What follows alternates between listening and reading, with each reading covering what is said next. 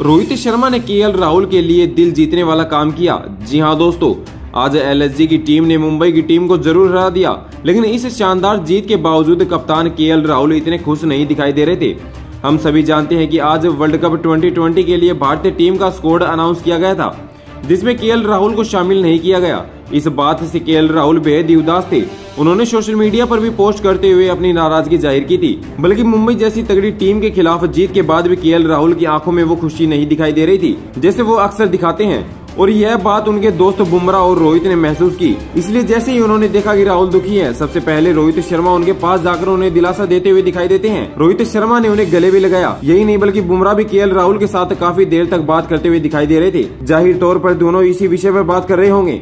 भले ही रोहित शर्मा ने राहुल को शामिल नहीं किया हो, लेकिन एंड ऑफ़ द डे सभी भारतीय खिलाड़ी एक दूसरे के अच्छे दोस्त हैं। रोहित की इसी बात ने सभी का दिल जीत लिया। आप सभी इस पर क्या कहना चाहेंगे? अपनी कीमती राय हमें कमेंट सेक्शन में कमेंट करके ज़रूर दीजिएगा।